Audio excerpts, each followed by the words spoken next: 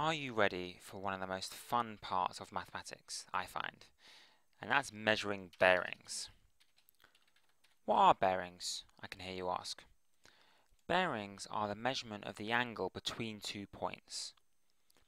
And it's used by navigators at sea and in the air and by the army and many different people to chart the exact course and to find the angle between two points from north.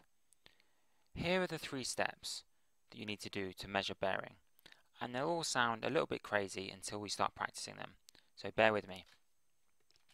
Step 1 in bearings is you place the center of the protractor where it says from.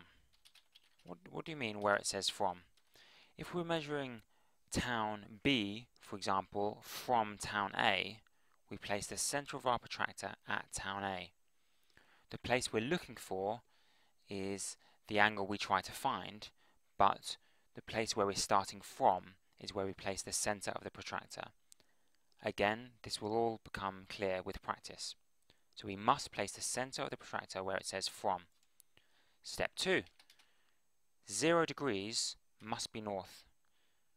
0 degrees must be exactly north. All angles must be measured with reference to a point. And if we all agree on that north is up, then we can all agree on the angle we're talking about. If some people regarded uh, or started counting from east, or some people counted from south, we'd all have different angles and we wouldn't know what we're talking about. But we always count zero degrees as north, so we can all speak the same language. Three, the third and final step, is you measure clockwise from north for a similar reason. If some of us measured anti-clockwise and some of us measured clockwise, we wouldn't know if 60 degrees meant 60 degrees going east clockwise or 60 degrees going anti-clockwise. It would mean two different things to two different people. So we always me measure clockwise. Let's try an example and then it'll start to become a lot more clear, all this nonsense that I'm talking about. We're going to have town A placed there where the dot is. And town B, it's a nice town. I advise you visit sometime. It's got nice beaches right there at the dot. And there's a nice road between them with nice seaside views. There's the road. And the question we have today is measure the bearing of town B from town A. Of town B from town A. Okay, now notice it said from town A. Let's just say from A, meaning town A. It's so important that where it says from that I'm going to actually highlight that. It said from A, and that is where, according to step 1, we must place the center of our protractor. For this um, tutorial, I'm going to use a protractor that I've just drawn up and, and copied, and we're going to use it, but it's not transparent, so it's not like a real protractor, but I hope it helps you to understand in these examples. It's not perfect, but I think it might illustrate the point. Here's the protractor. Now it said place the center of the protractor exactly where it says from, and it says from A. I'm going to use my finger and place it on the screen, which obviously you're not going to see. And that just means that when I place the center of the protractor there, I know it's exactly at A. In real life, a protractor is transparent, so you can just place the center exactly. But I'm going to move it, so the center of the protractor is exactly at A. There it is.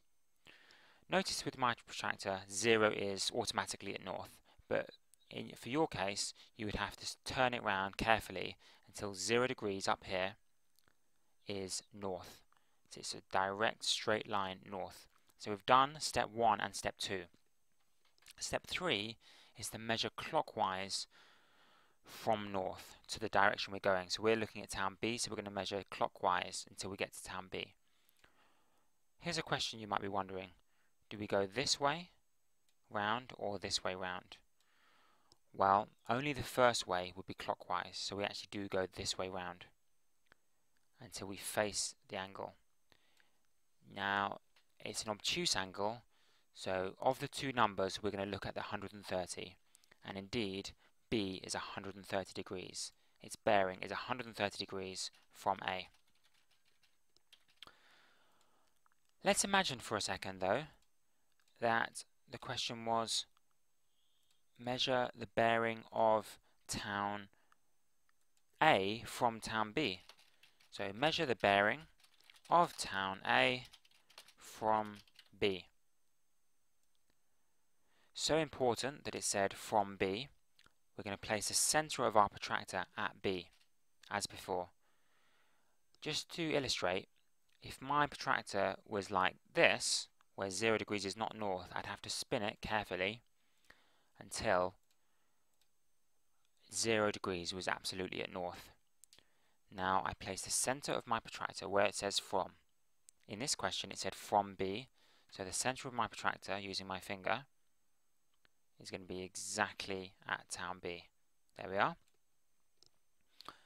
Now I can hear you asking, oh it'd be so easy just to go anti-clockwise, just to go round like so. It's so much closer than going all the way round the other side. But for consistency, all angles, all bearings must be measured clockwise. Just uh, an observation here. Do you notice how much easier it is to use a 360 degree protractor? Many students use those semicircle 180 degree protractors, but I find they're far harder to use in terms of bearings, and you're much more likely to get the right answer um, if you use a 360 degree protractor, and it's a lot easier as well. So using this 360 degree protractor, we're going to measure clockwise all the way around that long way because it has to be clockwise until we face A. And the angle is, it can't be 50, that would be the anti-clockwise angle, so it must be 310. So the bearing of town A from town B is 310 degrees. Let's do quick another question. This time, the angles are going to be somewhat given to us. So we'd have a town, two towns joined by a road. This can be town C, and this will be town D. And this time, it's going to be more mathematical and we wouldn't need a protractor because the diagram, it would say something like diagram not drawn accurately or not drawn to scale. And we'd have our north line would have to be given to us because we can't use a protractor. So that would be our north line and it would have an arrow and an N. And then a few of the angles would be given to us. We might have something like an angle going horizontally like so. And and then the angle inside perhaps at let's say 40 degrees. And the question could be something like measure the bearing of well, we'll do both of them actually. Measure the bearing of D from C.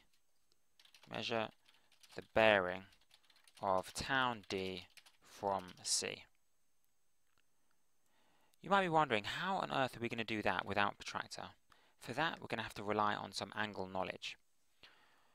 From C means that we have to start at C.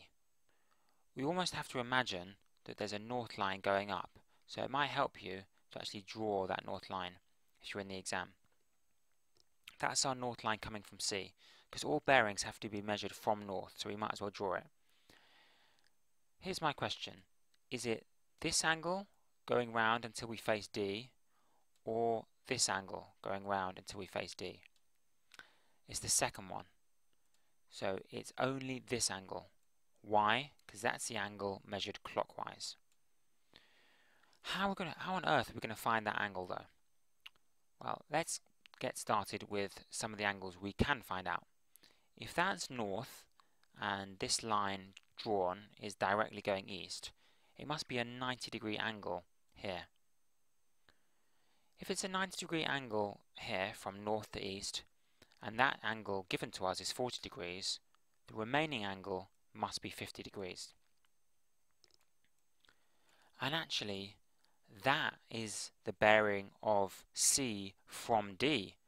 I know the question is D from C, but let's pretend for a second they were asking us um, the bearing of town C from D. We'd have done north and would have measured clockwise until we face C. Bearings, though, always have to be three digits. So when we, if we wrote that answer, it would have to be 0, 50 degrees. The reason for that is that in ships, they might, if you just said, say, 24 degrees, they might not know whether you're about to say 245 or 240. So just to be clear that you mean just 24, you say 024. All bearings must be three digits.